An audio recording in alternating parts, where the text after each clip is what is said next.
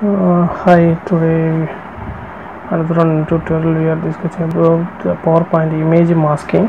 Uh, it is similar to the merge ob- objects, but uh, we are going to mask the image like this. See, this is one of the example of the image masking. It little bit cool design. Uh, yeah, now we are going to mask doing the same this in this in this image. Okay. Yeah. This is the masking masked image and now we are going to change this image as the masked on.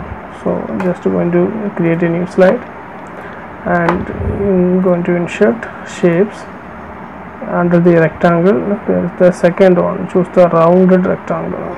So yeah and click and drag it yeah we got the rounded rectangle. Here we have another one small yellow color point. We're going to adjust the corner of the rounded rectangle. Just click and drag to right. See now we got one cool rounded rectangle. Now we change the outline to no outline and fill to yeah yeah small color. And increase the transparency full color is transparency yeah it's transparent and just copy this and paste this uh, align this as the second one. And copy this and paste this. Uh, third one. Just align the, those things in center so yeah and copy this and paste this as like this. And copy. And paste this side like this. Okay. Yeah now we got the outline of the image masking. Just select all. And now we got the drawing tools option here here you go into the merge shapes and click union. Yeah now it's um, combined with one single image. Just copy this and go into the previous slide and just paste it here. Yeah now we got the outline. Here we have the rotation option. Just rotate it to the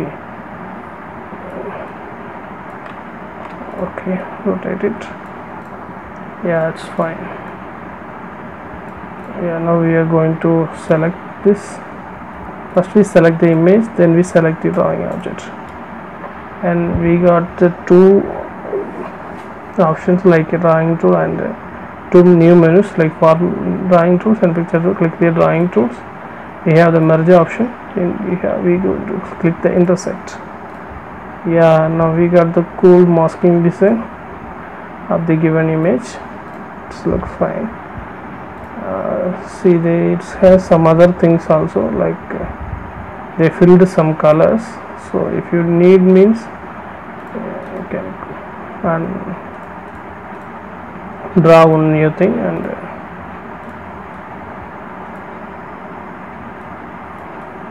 uh, the size is okay. Yes size is much better. And you can go to and paste the upfront and rotate it a little bit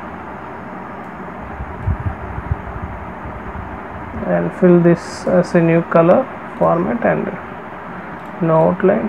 If you need gradient means you can fill with the gradient or you need the orange color uh, yeah yeah dark orange. And more fill colors you can adjust the transparency see you got the same effect of the here they give fill with the gradient now we fill with the solid color. Is the easy way to mask the image in the powerpoint also to use the cool, cool presentation. Yeah thanks for watching